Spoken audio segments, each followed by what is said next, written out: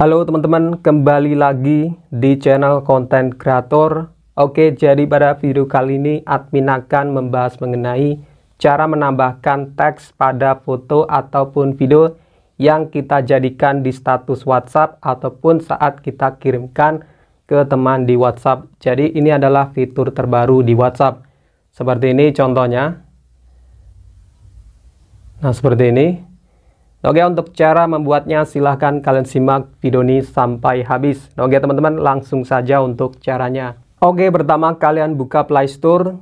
Kalian harus update aplikasi WhatsApp kalian ke versi terbaru. Setelah kalian update buka aplikasinya. Tap bagian status, ketuk icon kamera di bagian kanan bawah.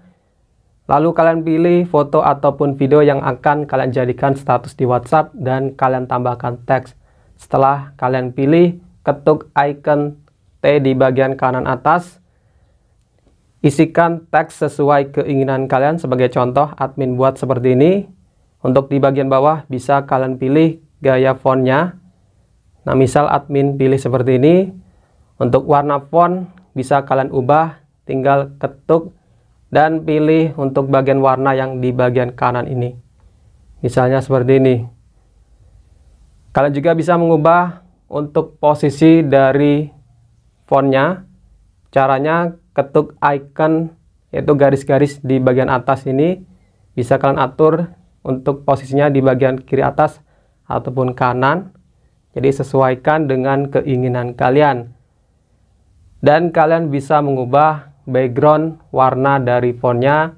Tinggal kalian ketuk icon A di bagian atas seperti ini untuk mengubah background dari fontnya klik selesai. Kalian bisa perkecil ukurannya. Misalnya seperti ini. Nah taruh posisinya di bagian bawah ataupun bisa disesuaikan. Nah setelah kalian atur kirimkan.